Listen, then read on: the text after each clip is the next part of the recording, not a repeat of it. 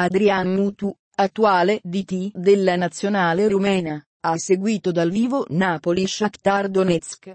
Queste le dichiarazioni a radio CRC dell'ex di Juventus e Fiorentina. Ho visto un Napoli diverso nei due tempi di gioco, anche perché nel primo gli avversari si sono chiusi bene perché forse volevano il pareggio. Il Napoli ha insistito con le palle sopra la difesa, una strategia che appartiene al gioco di Sarri. Insigne. È stato gravissimo non farlo giocare con la Svezia.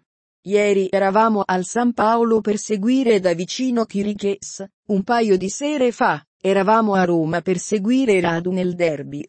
Lui si sta trovando benissimo a Napoli, si allena sempre con professionalità, me lo hanno detto, anche Sarri e Giuntoli. La mia impressione è che il Napoli voglia trattenerlo, lui deve solo risolvere questo problemino alla spalla, che ha accusato anche ieri.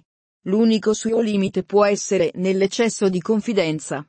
Con il mister, ho parlato molto volentieri. Lui è un maestro della tattica? A gennaio approfitterò della pausa del campionato per seguire da vicino i suoi allenamenti. A parte la gran giocata di Insigne, la squadra è sempre stata aggressiva e col baricentro alto.